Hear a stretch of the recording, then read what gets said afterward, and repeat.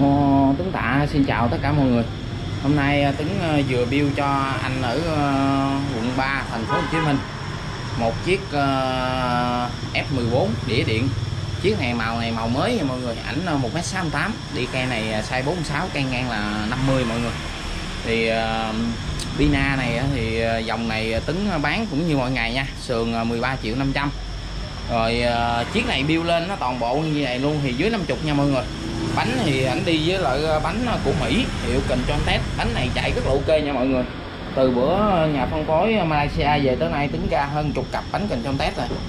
Chạy rất là ok luôn carbon cao 50 ờ, mọi người ờ, tầm tiền mà khoảng 50 đổ lại mình ráp F14 đĩa điện là bao xịn sò luôn nha mọi người. Dây quấn là dây quấn rồ dây quấn rồ của Shimano mọi người nha rồi ờ, vỏ ruột thì ờ, xài ờ, Continental Ultra Sport.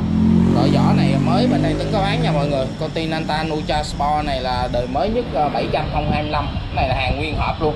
Bên tính bán là năm trăm rưỡi một cái nha mọi người. Hàng này là không phải là hàng rời nha. Mọi người thấy là bán ba ba, bốn trăm là hàng mà người ta buộc ở ngoài là cái đó mình vô nó bị giật nha mọi người. Còn này hàng trong hộp thì lên vỏ không bao giờ bị giật luôn. Rồi cái ờ, uh, rúp ờ, đĩa điện này thì nó là 12 nha mọi người. Chó kêu khá hay luôn. À, bố tẩy nhiệt đầy đủ hết. À, mọi người bên tấn thì tấn mà ráp thì uh, rút điện tấn tích là tấn cân chỉnh rất là kỹ nha mọi người. Mọi người an tâm. Rồi tính test cái bộ rút điện cho mọi người coi nè. Nó rất là im ái luôn à, mọi người hay ha. Nó lên nó rất là im ái luôn.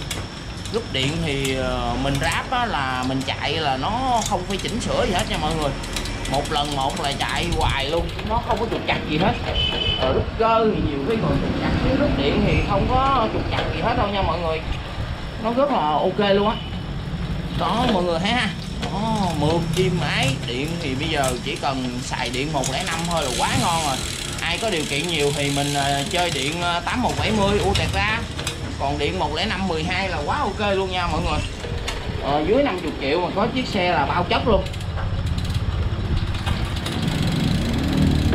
Rồi.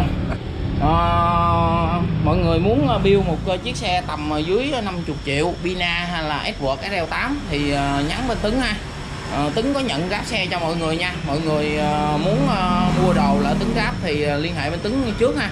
Tại vì bên Tấn thì Tấn đi tùm lum hết giao hàng cho khách rồi nhiều khi bữa nào có ráp xe cho khách nên mọi người tới mà không hẹn thì nhiều khi lợi không làm cho mọi người được thì cũng mất thời gian của mọi người rồi, Tuấn, cảm ơn ờ, mọi người xem video ha. Mọi người ờ, có muốn ờ, build xe hay là tư vấn sườn bánh rúp gì thì nhắn bên Tuấn. Tuấn sẽ tư vấn cho mọi người nha.